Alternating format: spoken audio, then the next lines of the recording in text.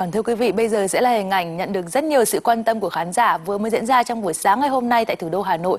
Buổi lễ ký kết và ra mắt huấn luyện viên trưởng của đội tuyển quốc gia Việt Nam và đội tuyển U23 Việt Nam. Theo đó thì đã có một bản hợp đồng có thời hạn là 3 năm được ký kéo dài tới tháng 7 năm 2026. Một ngày sau khi đến Việt Nam, huấn luyện viên Philippe Chuje đã tham gia buổi lễ ký kết hợp đồng và chính thức ra mắt huấn luyện viên đội tuyển Việt Nam và U23 Việt Nam.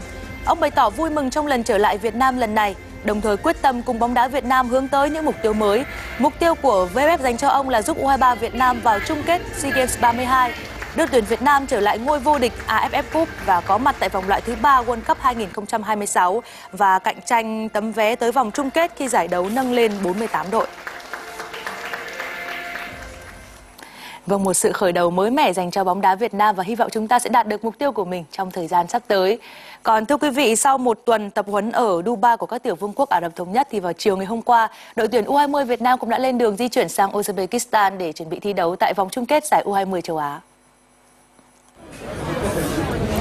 Sau một chuyến bay dài từ Dubai, các cầu thủ U20 Việt Nam vẫn rất vui vẻ và thoải mái khi đặt chân tới thành phố Fergana, địa điểm đăng cai bảng B của vòng chung kết U20 châu Á Thời tiết tại Uzbekistan lúc này rất lạnh, ban đêm nhiệt độ khoảng 2 đến 3 độ C, ban ngày thì khoảng 11 tới 15 độ. Vì thế nên các tuyển thủ đã phải khoác áo ấm hơn khi nhập cảnh.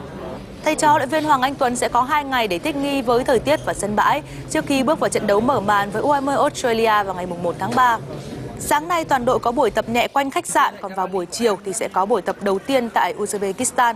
May mắn là cả 3 trận Đấu của U20 Việt Nam đều diễn ra ở thành phố Fergana, chỉ có một trận duy nhất gặp U20 Qatar là thi đấu vào lúc 19 giờ.